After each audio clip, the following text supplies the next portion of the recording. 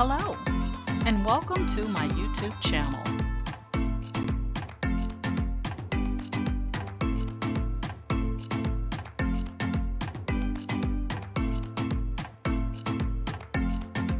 Please ensure to like, share, and subscribe. And also click the bell notification in the top right hand corner to be made aware anytime I upload tutorials or videos to YouTube. Alright, let's craft together.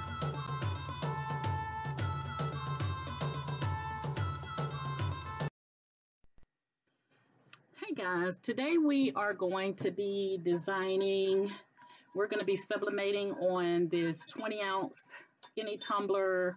This is a sublimation blank. I ordered it, I mean, I actually bought this from Michaels. So I wanted to test Michaels sublimation blanks just to see if they're good quality. So we're going to be sublimating one here today. Um, one of the things that you want to make sure you're doing when you're sublimating on your tumblers is you want to make sure that you clean them. So we're going to take some alcohol here and just put that on a cotton swab or cotton ball. And you just kind of want to go over your tumbler with that alcohol to try to remove any fingerprints or any other, you know, any other little debris or whatever that may have gotten on them and then allow that to dry. But you always want to wipe down your tumblers before you sublimate on them. So now that we got that taken care of, it's just that simple. We're to sit it down and allow it to air dry. You don't need to take and try to wipe it dry unless you're in a really big hurry, which we should never do when we're crafting. We shouldn't be in a hurry. Um, so for this project, we're going to be using our shrink wrap. So I have some shrink wrap here. Um, we're going to be using my heat gun to um, heat up the shrink wrap. And then we have some heat tape to help get our um, design uh, onto our, or to help adhere our design to our tumbler.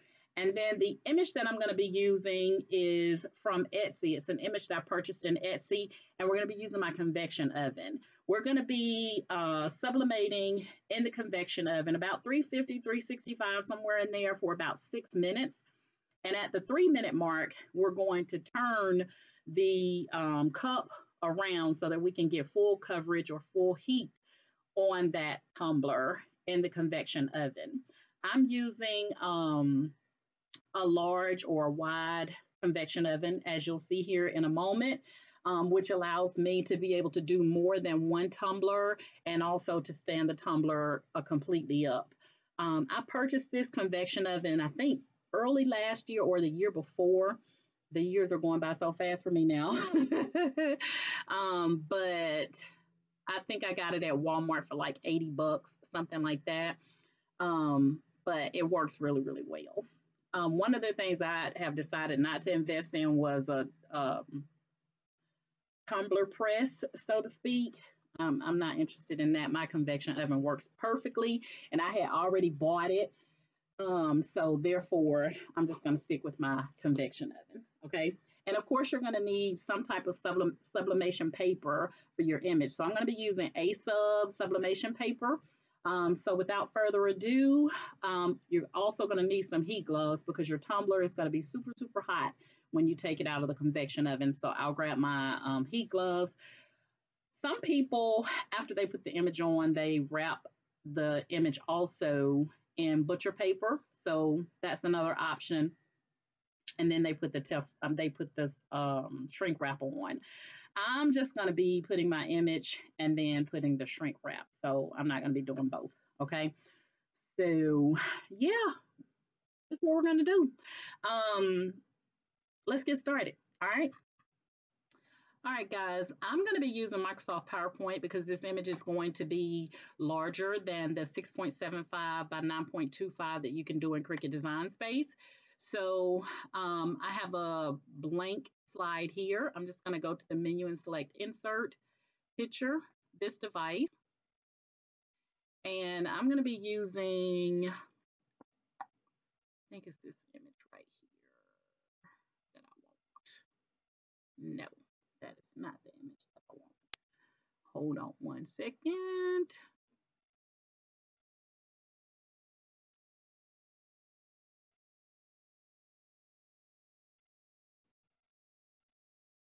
This is the image that I want. All right, so the first thing I'm gonna do when the image comes in, I'm gonna go ahead and um, rotate this image um, by flipping it horizontal, okay? So I'm gonna flip it horizontal, which is going to put it in the reverse because you always want to have it going in the reverse when you're doing sublimation. And then I'm gonna take and I'm going to click on the image and come down to size and position. And I'm going to make my size um, at 8.4 by 9.55. So I'm just clicking the height, the up arrow, 8.4 by 9.55. That's going to be the size. And then what I'm going to do is I'm going to take and I'm going to rotate this at a 90 degree angle. And the reason I'm doing that is so that I get it all on my sheet of paper with no problem, okay? So at this point, I am ready to print this image out. That's pretty much it in Microsoft PowerPoint. So we're gonna click on File, we're gonna say Print, and we're gonna select under Settings, Print Current Slide. We just want this one slide.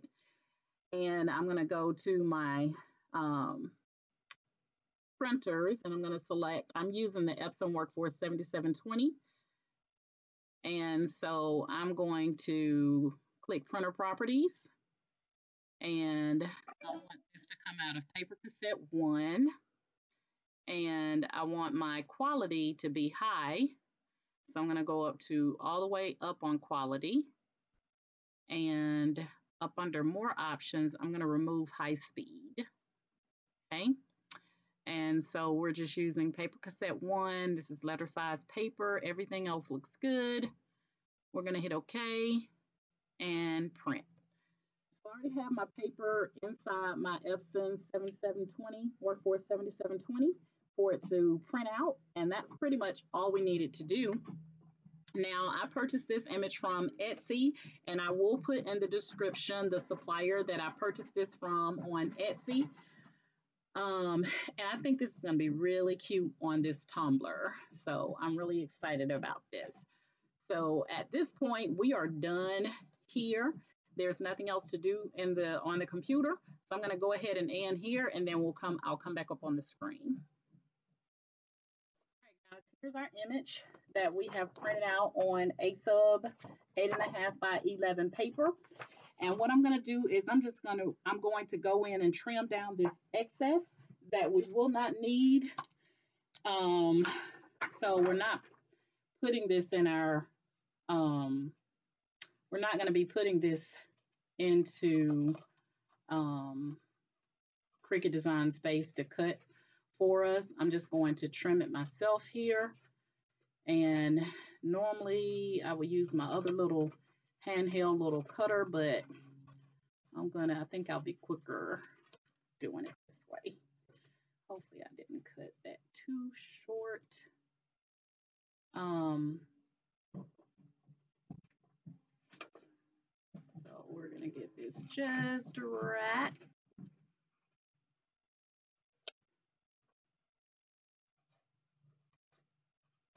So we're just trimming off that excess white that we don't need. And more little areas right here.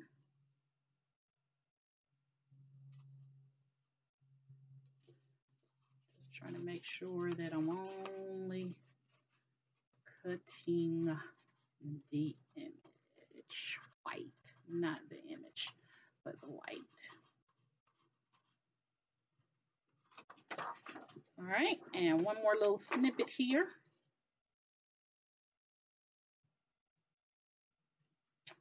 So we're gonna be, like I said, I have my convection oven heating up right now. And so I have a thermostat, which I would highly recommend that you get a thermostat so that you can be sure that your uh, temperature, your heat inside your convection oven is appropriate. Because um, it's hard to tell if it's really at that desired setting. So here we have our image now cut out and I'm going to try to get this little bit of white right here. And um, we're going to be taping this face down onto our tumbler here in just a second. All right, that looks good. Just like that. So now we're going to take our tumbler and we're going to wrap this around our tumbler. So you can see that for the height, it is perfect. You don't have any overlap here on the top or the bottom. And it's going to close perfectly for us. So the only hard part is not being able to see through this paper to make sure that we have that little line connecting, but I'm going to do the best that I can. Now, it's normally better, guys, if you're doing this with the tumbler, you know, laying down, but I don't have that luxury because of a little workspace here. But I'm going to put it on my lap and see how that does. All right, so just to kind of give you a little visual here, I'm just going to use my heat tape to close this baby up. You do not want any space um, in there, okay? No, no, no, no, no, no, no space. All right, so I'm to have to get this part right here off because that little part right there has been beat up, look like it. All right, so we are going to get our heat tape going here. And I think this tumbler is to be gorgeous. All right, so I can see it a little bit.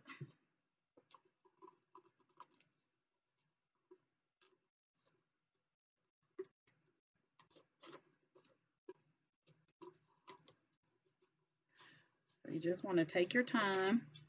Oh, shoot.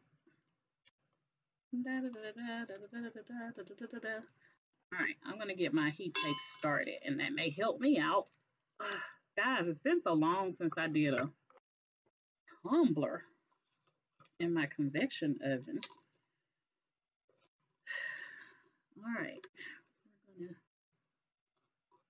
try to get this where it is lined up.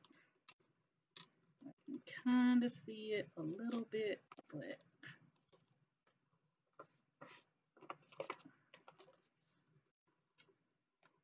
all right.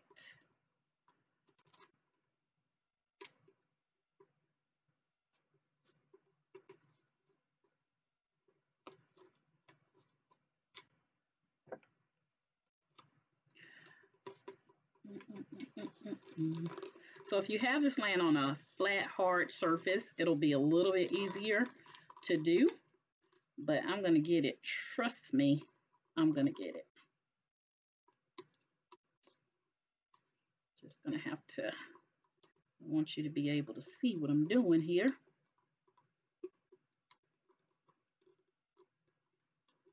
All right. Now if this tape will cooperate, I will be cooking with gas. But as you can see, it doesn't want to play fair.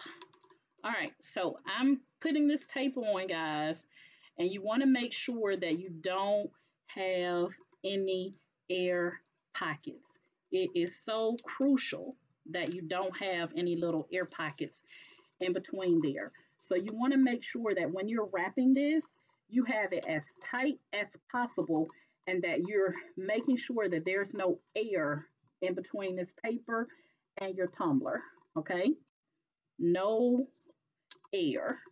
because if it is, you're going to end up with a little blowout and you don't want that. Let me see if I can find a little start here. One day I am going to order a tape holder. One day. I have ordered some everything, but I have not gotten around to ordering a tape holder. This is the part that gets me every time, which is trying to cut this tape. All right, so again, no air pockets. You want to take care of that as best as possible. Okay, so we're going to get this all the way down. And then we're going to put some tape. I put tape on the bottom and the top. Now that's just me because I don't want any air to get in here. Okay. And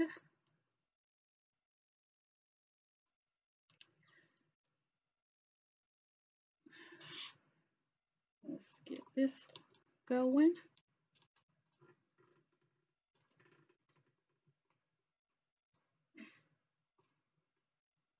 Okay. I'm going to have to rewrap that little bottom part because I can feel air in there. And you will be able to feel it too because it's going to feel like a little bubble. And you don't want that. So you want to make sure that you get that air out.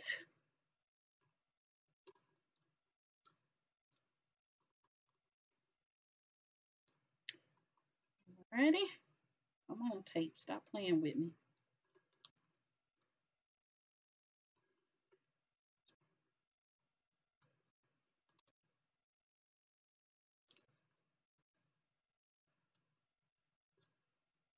All right, there we go.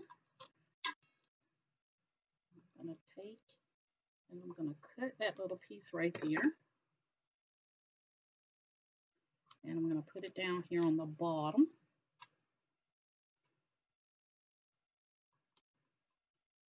All right, so I'm just going to take my nail because I want to make sure that there is no way that air is going to get in there.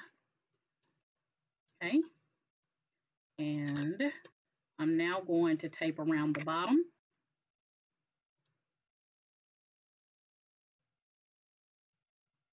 And then I'm going to tape around the top. So I just get it right there on that bottom. I'm going to come around. I'm pulling my tape tightly, uh, tightly. I said tightly. I'm pulling that tight.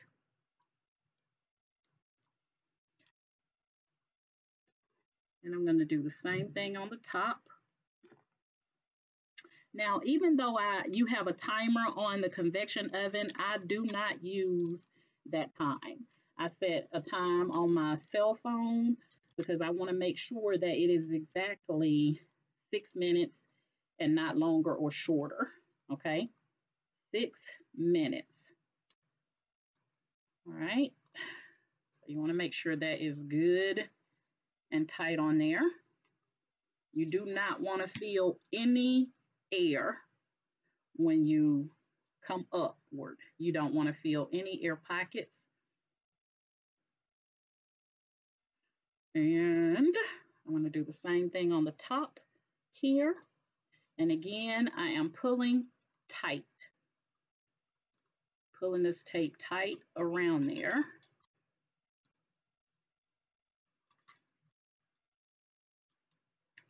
just like that. The hardest part is just getting that seam side down so that there is no air getting in there. That's the biggest thing. And like I said, make sure you have some heat gloves because this baby is going to be super hot when it comes out and you do not want to burn yourself. Don't be saying you were watching a video and Doris didn't tell you because I want you to know it is going to be super hot when it comes out of that convection oven.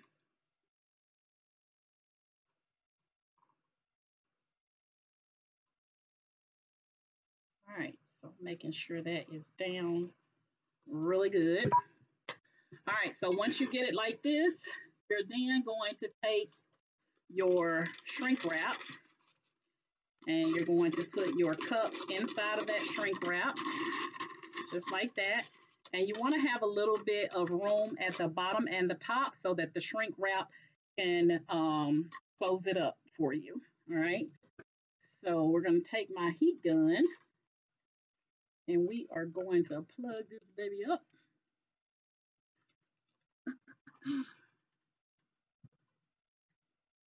and you want to get close, but you don't want to get too close where you burn your shrink wrap because that defeats the purpose of the shrink wrap. So we're going to kind of, just want to make sure that it is tightly on your uh, your tumbler. That that shrink wrap is tightly on that tumbler. You want to get all that air out.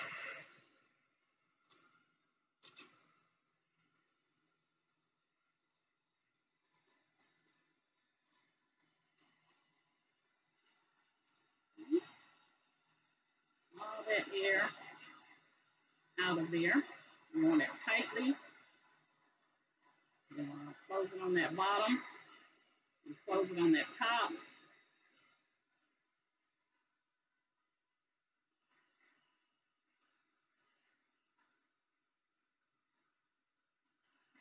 All right, just like that. You want to make sure that it's nice and tight around your tumbler. You don't want any air pockets, okay? So you see how we sealed up that bottom and we sealed up the top. Now we're going to take this baby and we're going to put it in the convection oven at 350 um, for six minutes. We're going to turn it once it hits three minutes, we're going to rotate it 360 or whatever. Halfway around, we want to um, rotate it, okay? And yeah, and then we're going to let it cool off, and then we'll do the unveiling together, okay? So let's go to the convection oven. All right, guys, here is the convection oven. Um, my heat uh, or my thermometer is actually a little bit over the 350 mark, which is good because when you open this door, you're going to lose some of that heat, okay? So I'm going to sit a piece of butcher paper um, down in here just so that it is not, so that um, it is not directly on that metal since I'm not using the butcher paper. Um, on the inside there. So I'm to take this out.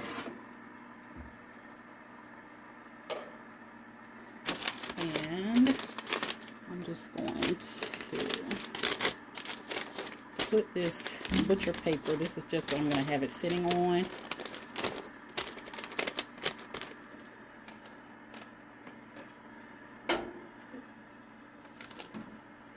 just like that. And then I'm going to rotate it. I'm going to rotate it at um, three minutes. And then we'll go from there. So I'm going to pause you. I'm going to come back when it's done. And we'll do, we'll let it cool. And then we'll do the unveiling together.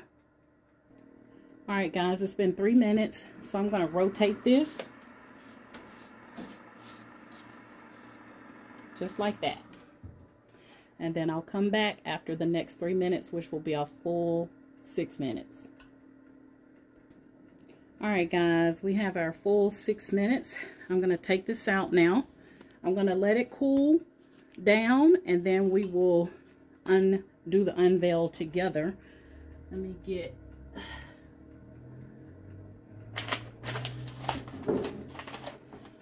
rack here. One of the good things is when you take it out, you should be able to see the image bleeding through, which you can see that here. Uh, doo -doo -doo so, that looks really good. All right, so we're going to let it cool down, and then we will unveil together. Let me put this over here. All right, be back. All right, guys, it has been about 10 minutes. So we're going to go ahead and do the uh, unveil together. Just see what we got here. Go ahead and get all this off.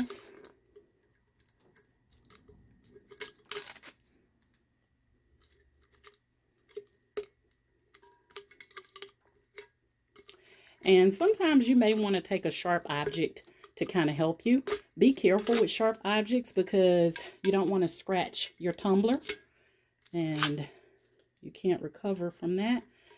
So, you know, once you get that tape off and everything, you're pretty, pretty much good to go.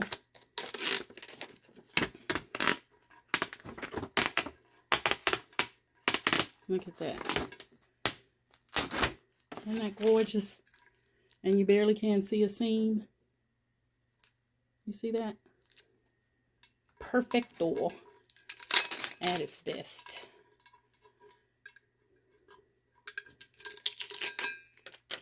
And then there's our bottom. Okay. So let's take a look all the way around.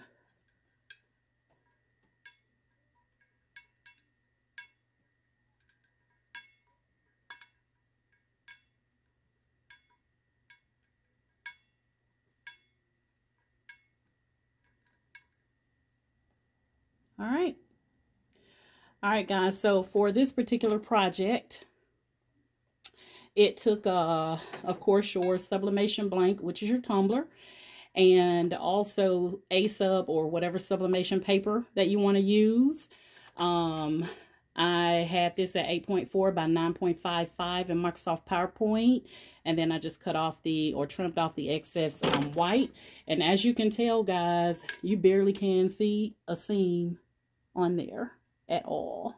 Okay, so we lined up that up really, really good. Really, really good. Um, and then I'm using my Epson Workforce 7720 um, printer that has been changed over from inkjet to sublimation. And um, make sure you have some nice heat gloves because this thing is going to be hot when you take it out. This um, is the Hamilton Beach, and this is the wide convection oven. Again, I got this at Walmart for like 75 $80 a year or two ago.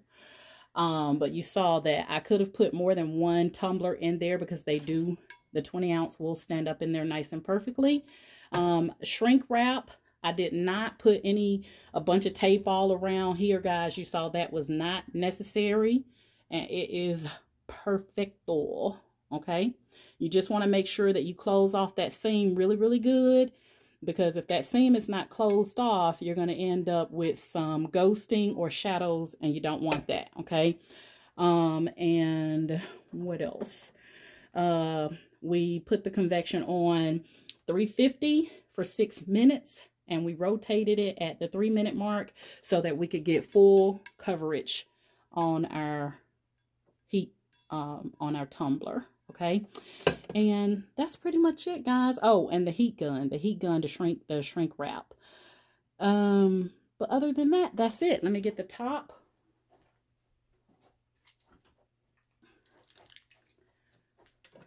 So here is our top. And we're good to go. The only thing is this did not come in a box like if you order them online. They normally come in a box and wrapped up. So you know, it's mine. So I'm good with that. But that's one thing to take into consideration is, you know, how will you package this to send to your customer if it comes just like this without being in some type of box or what have you. Um, but yeah, that's it, guys. That's my storm sticking to it.